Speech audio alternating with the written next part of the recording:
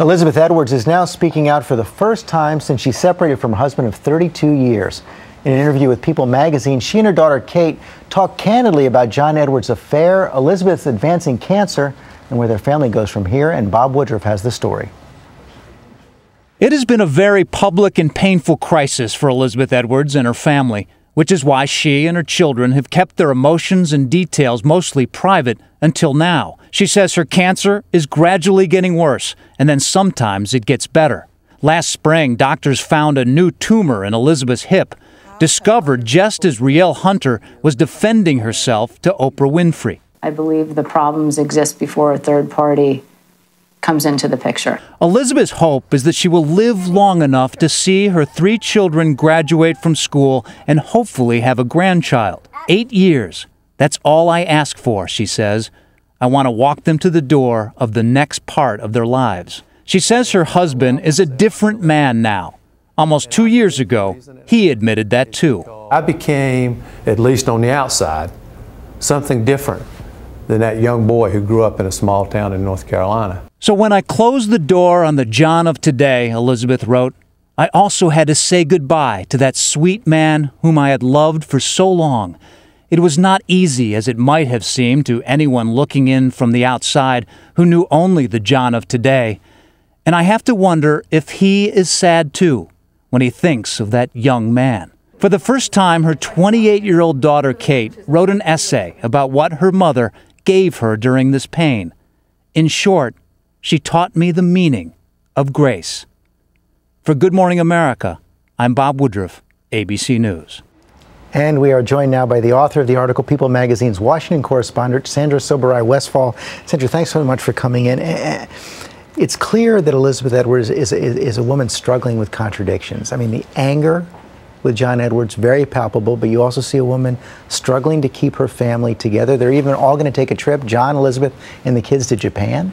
She's she's wanted to show the children where she grew up um, as a Navy brat, and um, so for a long time she's had this trip planned. With her new chemo, she gets very winded and very tired easily, so she's bringing John along to help with the kids, but also share this family experience. She of course makes the point the sleeping arrangements will be different. Yeah, and she even talked you even talked to her about in the article the fact that John Edwards may be now out dating in North Carolina bars. She's seen the tabloid reports she pointedly didn't dispute them, and then she says, fairly nonplussed, that you know he's made new friends, and I need to give him the space to do that. He will be a healthier, happier person if he finds people that that don't have the disappointment in him that, that she has. And that disappointment is again so palpable. One of the things where she she kind of draws the line. You ask her about Rielle Hunter and whether John and Rielle are still together.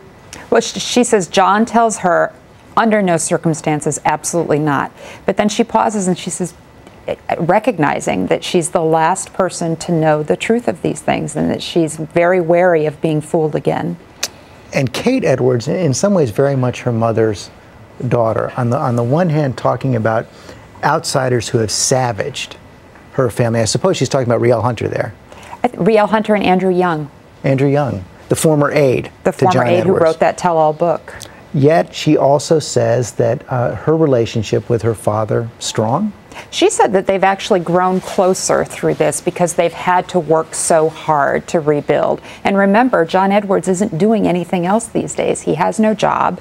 He's he's really spending his time full time as a father. Um, so that's a lot of intense rebuilding. And she says they've actually grown closer. Talk about John Edwards as a father. One of the odd details: Elizabeth Edwards buys a piece of lavender soap for John's little boy girl Quinn to give to her mother Rielle Hunter. That's Elizabeth. She says it's just what one parent does for another, and you always make sure that the other parent has a Christmas present. So she went out and bought a gift for John to, to offer to Rielle on Quinn's behalf. Why do you think she's speaking out now? She, well, she struggled for a long time to write this new chapter for the paper book edition of her book. She struggled with whether to rebut every lie that's been out there and every mischaracterization of her own person. Um, and then finally, she was able to put the chapter together. It's being released, but she also would like to have sort of a, a, a cleansing period where, you know, now she feels like she's said her piece she can move on and maybe reclaim some voice in public policy. And, and, what comes through in the article is that she seems to be a woman at peace. She is. I've spoken with Elizabeth for years and, and on and off through this whole crisis over the past two or three years.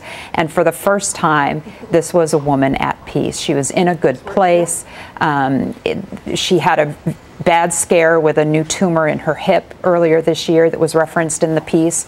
Um, radiation took care of that. She's feeling better, um, though her cancer is progressively getting worse. She's feeling better. She's looking forward to um, you know some new adventures. Okay, fascinating article. Sandra Sobieraj Westfall, thanks very much. Thank you.